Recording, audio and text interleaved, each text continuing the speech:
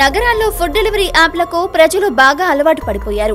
వారికి కావాల్సిన ఆహారాన్ని ఒక్క క్లిక్ ఇచ్చి డబ్బులు చెల్లించగానే డోర్ ముందు ఆ ఫుడ్ డెలివరీ అవుతోంది. అన్నీ కాకపోయినా కొన్ని కస్టమర్ అనుకున్న సమయానికి ఆర్డర్ ఇచ్చిన ఆహారం చేరకపోవడంతో విసిగిపోతున్న కస్టమర్లు food delivery app toll free నంబర్ను ఆశ్రయిస్తున్నారు. ఇందుకోసం ఆన్లైన్లో నెంబర్ వెతికి ఆ నంబర్లకు డయల్ చేసి కష్టాలను కొని తెచ్చుకుంటున్నారు. ఉత్తరప్రదేశ్ రాష్ట్రం లక్నోలోని విరాట్ ఖండ్ ప్రాంతానికి చెందిన ఓ వ్యక్తి కూడా తనకు నచ్చిన ఆహారాన్ని ఫుడ్ డెలివరీ యాప్ ద్వారా ఆర్డర్ ఇచ్చాడు. అయితే తను అనుకున్న సమయానికి ఆహారం అయితే చేరలేదు. వెంటనే ఆన్లైన్లో ఆ ఫుడ్ డెలివరీ యాప్కు చెందిన టోల్ ఫ్రీ నెంబర్ వెతికి ఫోన్ చేశాడు. ఫోన్ చేయగానే ఓ వ్యక్తి తాను ఆ ఫుడ్ డెలివరీ యాప్ ప్రతినిధిగా పరిచయం చేసుకున్నాడు.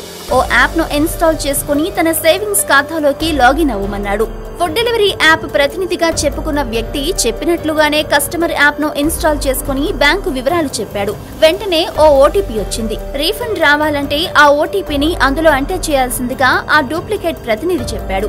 ఇక కస్టమర్ ఓటీపీని అందులో టైప్ చేయగానే నాలుగే నాలుగు నిమిషాల్లో నాలుగు లక్షల రూపాయలు ఖాతా నుంచి మాయమైపోయాయి. తన ఖాతా నుంచి నాలుగు లక్షలు మాయమవటం చూసి పోలీసులకు ఫిర్యాదు చేశాడు. అయితే కస్టమర్ ఇన్స్టాల్ చేసుకున్న యాప్ ఆ కస్టమర్ ఫోన్కు రిమోట్ యాక్సెస్ ఇస్తుందని పోలీసులు చెప్పారు.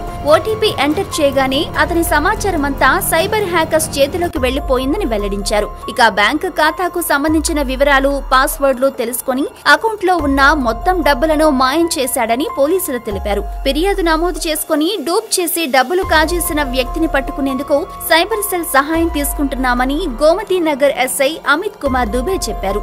సో ఫ్రెండ్స్ జాగ్రత్త. ఫుడ్ డెలివరీ యాప్లకు ఫోన్ చేసే ముందు ఆ నంబర్ ఆ సంస్థకు చెందినదో కాదో ఒకసారి చెక్ చేసుకుని కాల్ చేయండి. చేసిన తర్వాత బ్యాంకు వివరాలను మాత్రం ఎవరికీ షేర్ చేయకండి.